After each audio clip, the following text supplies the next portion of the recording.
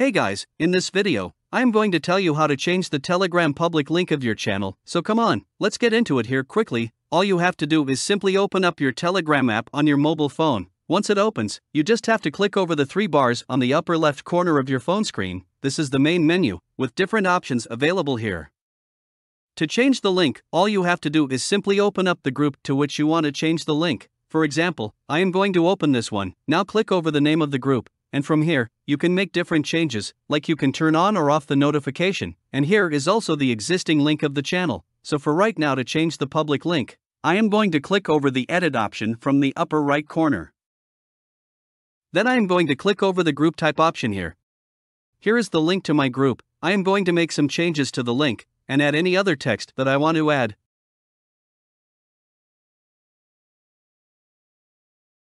Once it is done, just click over the tick mark option from the upper right corner.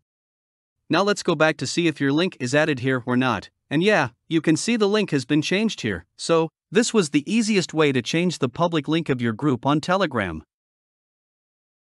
I hope you learned something from this video.